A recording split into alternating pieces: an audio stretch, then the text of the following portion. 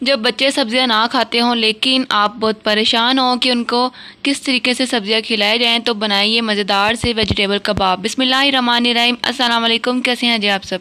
मैं हूँ फ़िज़ा। वेलकम करती हूँ आपको लाजवाब पकवान में। लाजवाब पकवान में आज हम बना रहे हैं। बची हुई सब्जियों के बहुत ही मज़ेदार, बहुत ही क्रिस्पी से ऐसे कबाब जो बच्चों को आप एक दफ़ा बना कर खिलाएँगे, यकीन करें, वो बार बार आपको इसी की बनाने की फरमाइश करेंगे। ये हेल्दी होने के साथ साथ बहुत ही टेस्टी होंगे और बहुत ही मज़े के होंगे। एक दफ़ा आप इनको बना लेंगे और बार बार आप इसी को बनाएँगे।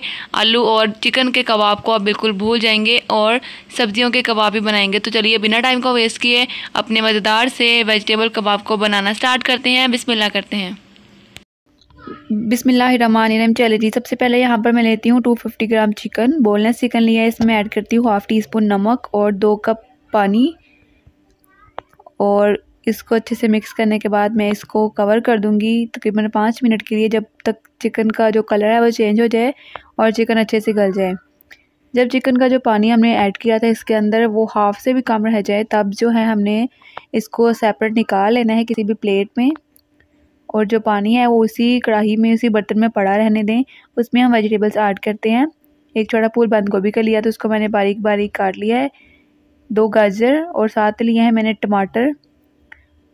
अच्छे से इनको चीज़ों को मिक्स कर लूँगी सारी वेजिटेबल्स को। इनमें से अगर आप कुछ नहीं पसंद करते तो आप उसको स्किप कर दें।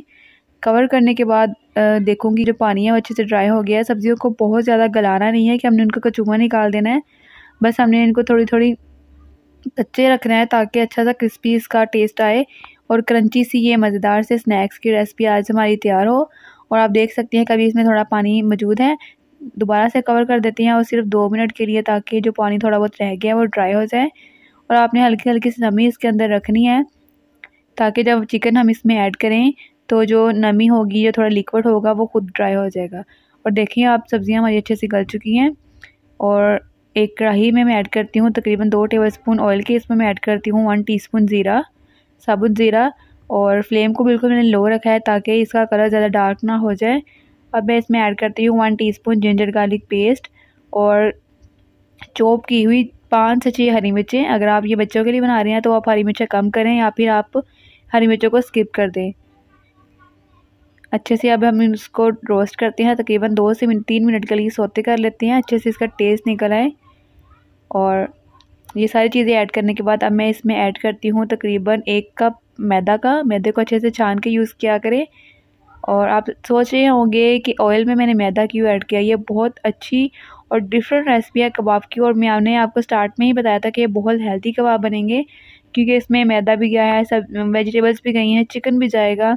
और ये देखिए मैदा किस तरह जब इसका क्रम्स बना स्टार्ट हो जाए तो आपने जो वेजिटेबल्स पहले से गला कर रखी हैं, वो इसमें ऐड कर देनी है।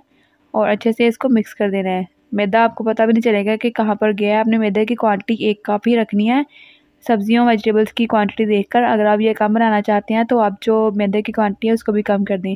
अब जो मैंने बोनलेस चिकन निकाल के रखा था, उसके हमने रेशे कर लेने हैं, वो भी ऐड कर देने हैं। स्पाइसेस में इसमें ऐड करूँगी वन टीस्पून काली मिर्च का और वन टीस्पून नमक का। आप अपनी क्वांटिटी के अकॉर्डिंग या फिर अपने टेस्ट के अकॉर्डिंग ऐड कर सकते हैं। अच्छे से आप मिक्सचर को हम मिक्स करते हैं और लास्ट में इसमें ऐड करती हूँ हरा धनिया। चलें जी मिक्सर अच्छे से हमारा ठंडा हो गया अब मैं हाथों को ऑयल से ग्रीस कर लेती हूँ और उसके बनाते हैं हम कबाब। जो मर्ज़ी आप शेप रख लें, आप इस तरह गोल कबाब खाना पसंद करते हैं तो गोल बना लें, लंबे वाले ये जिस तरह की शेप आप पसंद करते हैं वैसे बना लें। कबाब की रेसिपी बहुत ज़्यादा मैंने आपके साथ शेयर की हैं और सारी रेसिपीज़ ही बहुत ही मज़ेदार हैं और ये बिल्कुल डिफरेंट कबाब की रेसिपी है जिसमें हमने काफ़ी ज़्यादा वेजिटेबल्स का यूज़ किया है। और कबाब बनाने के बाद अब मैं लेती हूँ एक अंडा, इसमें ऐड करती हूँ नमक और इसको बस फेंट लेते हैं अच्छे से। और कोटिंग के लिए सिर्फ़ अंडा ही यूज़ करेंगे। अगर आप इसको ज़्यादा क्रिस्पी बनाना चाहते हैं तो आप अंडे के बाद इसके ऊपर ब्रेड क्रम्स लगाएँ, लेकिन ब्रेड क्रम्स के बगैर भी ये बहुत मज़े के बनेंगे।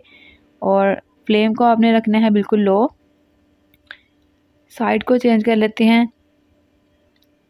रेसिपी इस पॉइंट पर आपको थोड़ी सी भी अच्छी लग रही हो तो काइंडली चैनल को ज़रूर सब्सक्राइब करें वीडियो को लाइक करें। अपने फैमिली और फ्रेंड के साथ शेयर करें और एक प्यारा सा खूबसूरत सा कमेंट कर दें। ये देखिए, जब दोनों साइडों से जो कबाब है हमारे, वो गोल्डन ब्राउन हो जाएँ, तब हमने इनको निकाल लेना है और आप देख सकते हैं, इनको बहुत ज़्यादा गलाने की ज़रूरत नहीं है क्योंकि सब्ज़ियाँ हमने पहले से ही डन की हुई है। तो माशाल्लाह से, अल्हम्दुलिल्लाह, कबाब हमारे बिल्कुल रेडी हैं। आप देख सकते हैं, इसकी फाइनल लुक माशाल्लाह से कितनी प्यारी आ रही यकीन करें, आप इसको एक दफ़ा बनाएँगे तो बार बार आपको इसको बनाने का दिल करेगा। ये इतने मज़े के होंगे और साथ ही साथ हेल्दी भी होंगे।